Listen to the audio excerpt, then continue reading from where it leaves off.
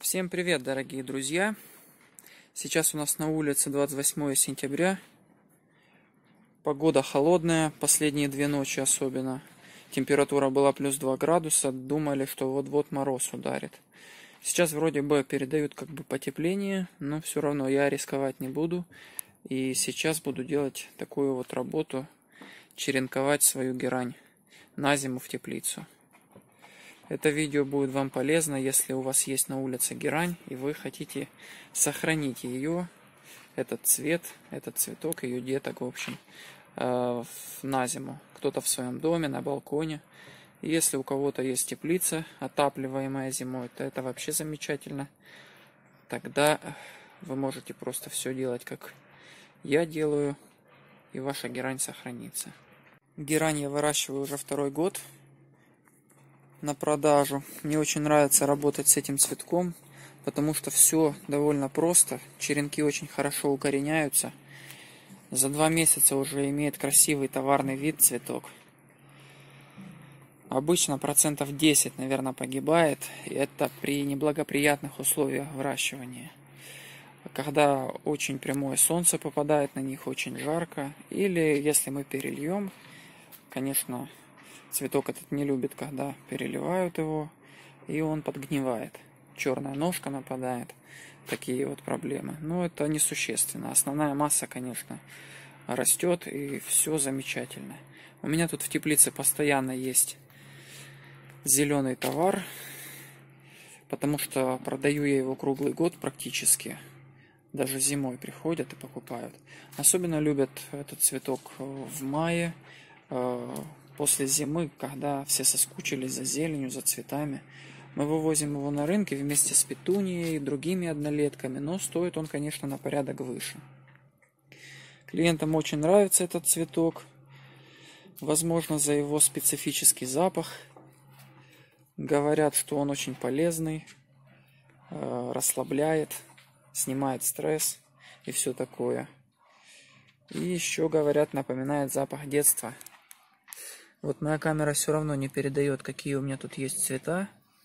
В основном они, конечно, не цветут, я уже пообламывал. Есть еще некоторые бутончики, но погода уже не та. Уже осень, поэтому герань а, немножко не так обильно цветет, как, например, по весне и летом. Это у нас кустовая герань. Еще я выращиваю ампельную и немножко королевской. Сейчас я покажу. Вот пока я тут. Королевскую я черенковал месяц назад. В начале сентября, вернее. Недели три назад получается. Конечно, как я говорил, процентов 10, тут даже может побольше. Погибло. Сажал я по 2, вот в такой стаканчик. Стаканчики эти объемом 0,8 побольше, потому что королевскую я выгоняю покрупней, кустик. Он тогда посильнее цветет красивыми жирными такими цветами. Ее у меня не особо много, вот там заканчивается. В общем, стоит под стеллажами, не на прямое солнце. Это вот самое главное правило черенкования герани. Это все еще кустовая. Ну, ее я черенковал, как я уже говорил, наверное, пару месяцев назад, потому что она небольшая. Вообще я постоянно черенкую, раз в два месяца примерно, когда вижу, что цветов не хватает, а люди покупают. У меня всегда есть на улице большие кусты, которые растут, с которых я беру свой посадочный материал. А здесь у нас тоже немножко меньше ампельной. Ампельную, конечно, люди любят посильней. Я думаю, конечно, что, скорее всего, это потому, что в основном тогда люди знают о обычной кустовой, которую высаживают на улице. А ампельная это как немножко в новинку для многих. Ну, это мое мнение. Возможно, я не прав.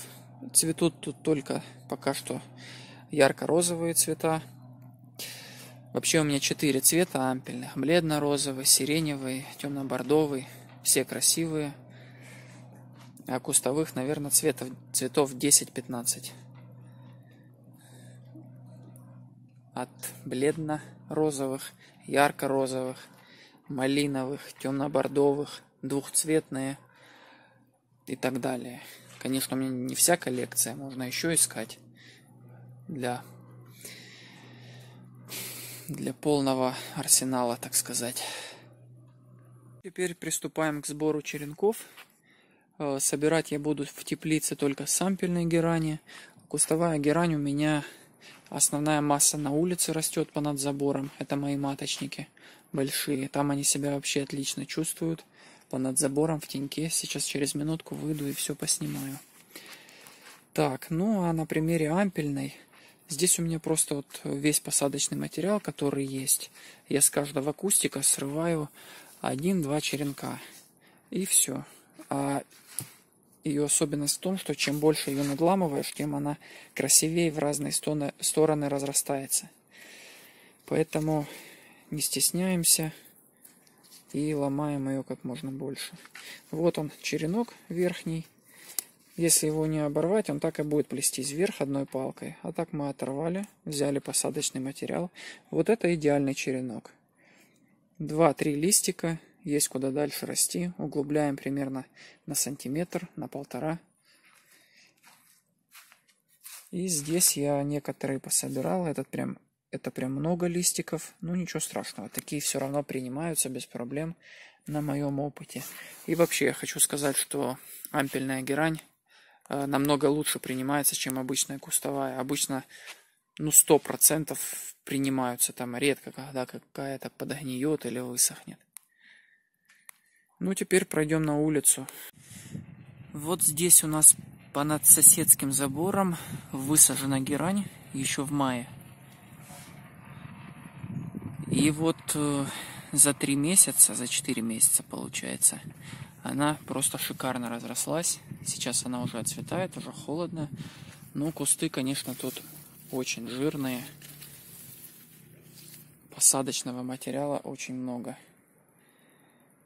Еще мы сажали в другое место, на открытое солнце, но там они посохли. В общем, открытое солнце герань у нас не любит. Она любит тень-полутень, особенно летом. А в этом месте как раз целый день была тень понад забором. И только аж вечером солнце выходило. В общем, начинаем собирать черенки. Черенков на каждом кусту достаточно много. В основном мы это делаем вот таким способом.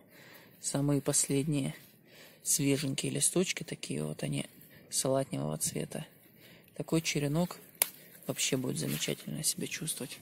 Он легко отламывается. Вот. Вот это мы убираем. Бутончики, потому что они будут высасывать лишние соки с растения. А, а ему и так нужны силы, чтобы укореняться нормально. Я никогда не подписываю цвета, какие беру. Это вот мы взяли, например, белый. Это у нас красный будет. То же самое, все просто. Вот такой вот черенок. Обламываем мы один листик. Вот таким образом берем черенков столько, сколько нам нужно. Но с учетом того, что обычно у меня процентов 10-20 не принимаются. Но это нормально. Здесь, конечно, чуть-чуть маленький столбик получился. Но ничего. Примется без проблем. Завершающий этап этого всего процесса – это укоренение черенков герани в стаканчике с грунтом. В моем случае это торф верхнеслойный, чистый. Конечно, можно его еще разбавлять с черноземом один к одному. Тоже нормально все принимается. Это я делаю обычно, когда объемы большие, чтобы немножко сэкономить на торфе.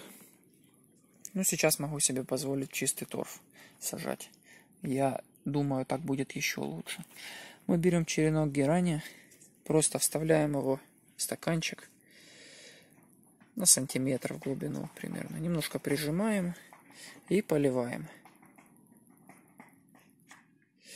Герань не любит особо сильную влагу, поэтому немножко полить будет достаточно. Э, наоборот, лучше ее немного пересушить, чем перелить. Она больше склонна к подогниванию чем засыханию. Вот такая вот особенность. Э, потом мы эти черенки, стаканчики берем, ставим в место, где не целый день попадает солнце. Потому что, опять же, они не любят сильную жару. Хотя сейчас уже погода не жаркая, осень, обычно дни не солнечные начинаются, дождливые. Но лучше, если вы будете ставить свои черенки в доме на окно, не ставьте на окно, которое целый день под солнцем. Вот такие вот советы, рекомендации от меня. Я показал, как я с ней работаю. Все у меня получается в течение двух лет. Хорошо все приживается, растет и радует моих клиентов.